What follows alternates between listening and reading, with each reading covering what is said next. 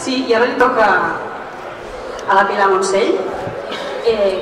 la tinc aquí a la dreta, però estic també mirant aquí darrere a l'Andrea perquè, com suposo que sabeu, aquest fòrum es fa d'una forma més o menys eh, col·lectiva o sobre, diguem, sobre el joc a, a participar a l'elecció o a l'exploració de gènere qui, a qui convidem a parlar a, gent de l'entorn d'aquestes constel·lacions que envolten eh, indigestió. I l'Andrea, que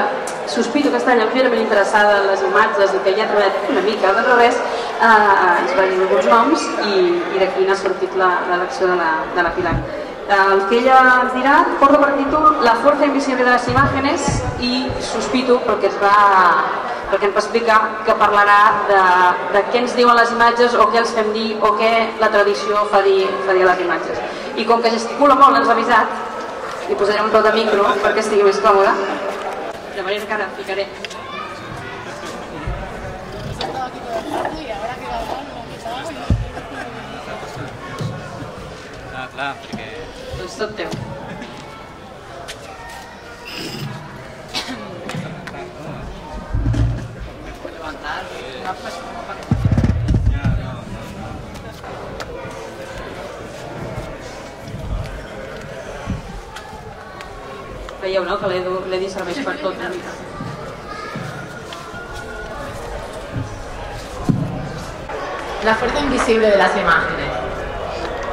Las imágenes tienen su propia fuerza invisible que existe más allá del sentido en el que han sido encerradas por los consensos sociales o políticos y por los usos a los que han sido sometidas contra su propia voluntad y contra la de quienes las han creado o hecho circular. Incluso aquellas imágenes más manidas, las más sobrecargadas de sentido, como las imágenes institucionales, publicitarias, propagandísticas o incluso a veces las imágenes activistas, cuentan con sus propias experiencias liberadoras. Probablemente todos hemos tenido alguna experiencia de este tipo, una relación singular con una imagen que en un momento de nuestra vida ha podido provocar la liberación de esa fuerza invisible que se hallaba en ella. En mi caso se trata de una experiencia de infancia que viene marcada por la ligereza de la mirada de la que podemos gozar cuando somos niños. Cuando podemos ver las imágenes sin el filtro de ese sentido que, les ha sido impuesto, sencillamente porque lo desconocemos. Cuando era niña, algunos domingos por la mañana solía salir a pasear con mi padre por el centro histórico de la ciudad de Córdoba mientras él me contaba historias sobre el origen de todas esas calles, de todos esos muros llenos de piedras muy viejas que atravesábamos juntos. Y en esos paseos hubo un museo que me dejó prendada desde la primera vez que lo visitamos. Cuando salía, las imágenes que había visto allí se quedaban como rondando en mi cabeza durante muchísimos días. Era como si me las llevara puestas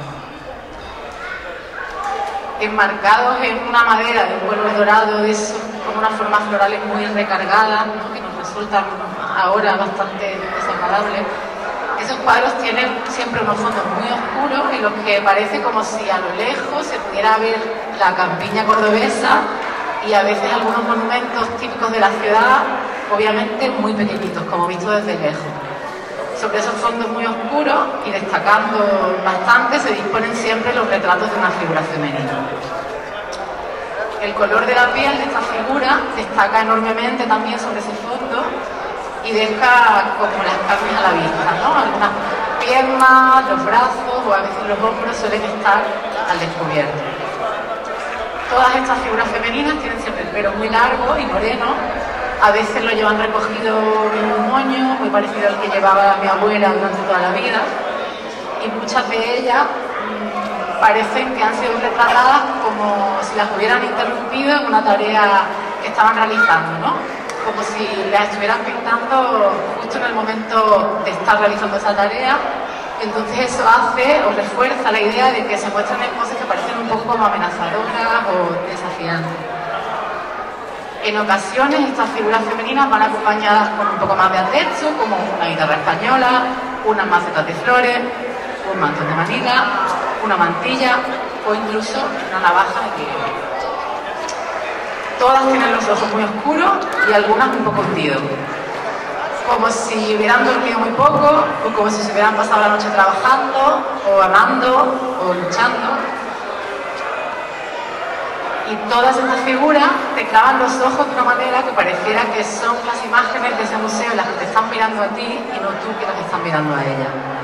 como si de alguna forma ellas te estuvieran buscando para un ajuste de cuenta visual y te dijeran,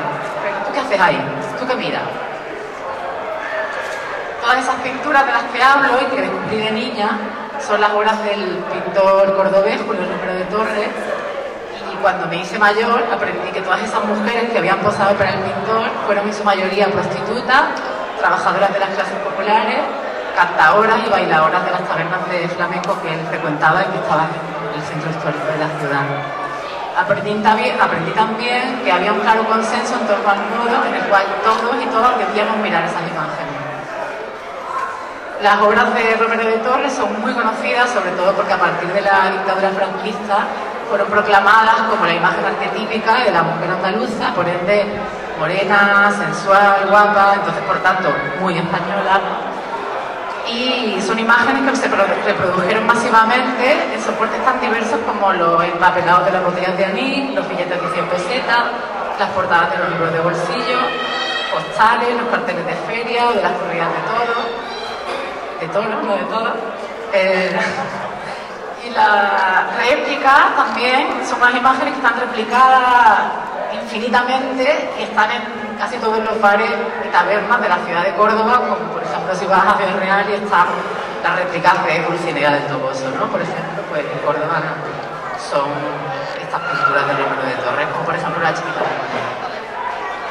eh, todas esas reproducciones, esas réplicas fueron avanzando en el tiempo y hasta hoy llegan en la forma que estamos todas y todos acostumbrados a ver en el merchandising de la ciudad marca de hoy en día, en forma de chapas, de imanes para la nevera, gorras, tazas, pegatinas, incluso delantales de cocina. Más allá de toda esa retaguita de merchandising, merchandising, creo que tal y como me ocurrió a mí, cuando vivimos una verdadera experiencia con las imágenes, no hay manera de borrarla ya en nuestra memoria nuestra relación con esas imágenes adquiere su propia forma de resistencia. Tuve la suerte de haber sido niña la primera vez que vi esas pinturas, porque gracias a esa ligereza de la mirada de la que pude disfrutar, ellas fueron para mí un referente que se salió completamente del texto de lo femenino que yo estaba habituada a ver en mi entorno en aquel momento, un referente obviamente empoderado. Así que esas imágenes fueron y seguirán siendo para mí siempre las portadoras de una fuerza invisible.